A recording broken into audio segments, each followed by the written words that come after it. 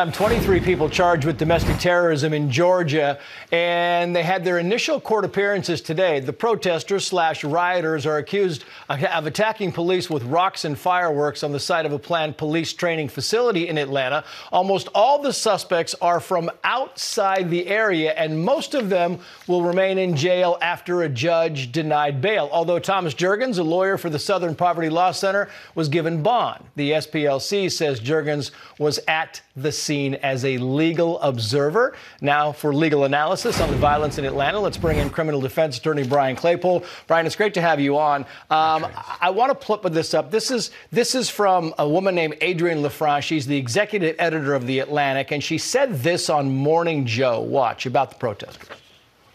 It really is extremist right wing violence that scholars who look at this most closely are most worried about.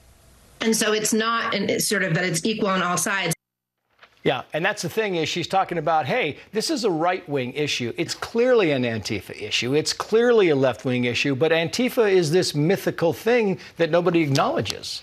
Yeah, Trace, uh, good to be with you. It was staggering to watch what was happening in Atlanta. I mean, these people were at a musical event and they're like, oh, let's go over here to where they're going to have Cop City. Let's start throwing cocktail Molotovs, mm-hmm. fireworks. Let's destroy the police police officers could have been killed. So, my question to you in this country is where is our federal leadership? Since the George Floyd death, right? Where th- these are federal crimes, right? right? Domestic terrorism is a federal crime. Where's President Biden? Where's the DOJ? Where's the FBI? They're allowing the state to, to file charges. That sends the wrong message to people that want to commit domestic terrorism. It sends a message that it's okay. This is not a priority to the federal government. Yeah. Well, it's the same thing as the right to life. You know, they attack those centers, and there's still nothing being done. And and you know, you have the attorney general saying, "Well, because these were at night." I want to talk about this because here's the here's the lies that police are up against. Here's one of the activists quoting here: "It's akin to a southern segregation." Its narrative by calling organizers and activists outside agitators. The police decided to overreact and break up the music concert and indiscriminately arrest people, and some of those people have been charged with domestic terrorism.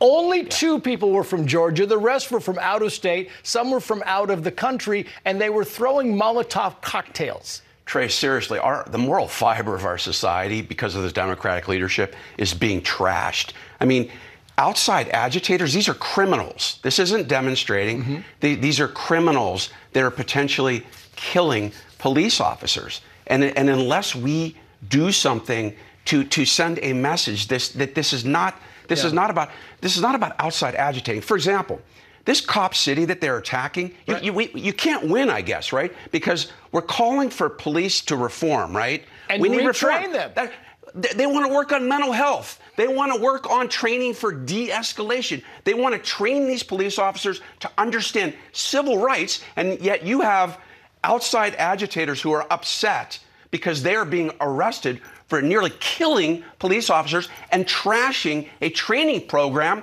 that's going to prevent civil rights violations. That they have been calling for yes. for three years, exactly. saying these police need to be retrained, yep. they need to be reformed. That was after the defund the movement fell That's apart. Right. And, and, now, when they build a facility to do exactly yep. that, they want to bomb the facility and say, oh, this is nothing That's more right. than a base for police officers to go to war against people with. It's a total hypocrisy. Yeah, it is. Brian Claypool, good to have on. Thank you. you. Thanks, Trace.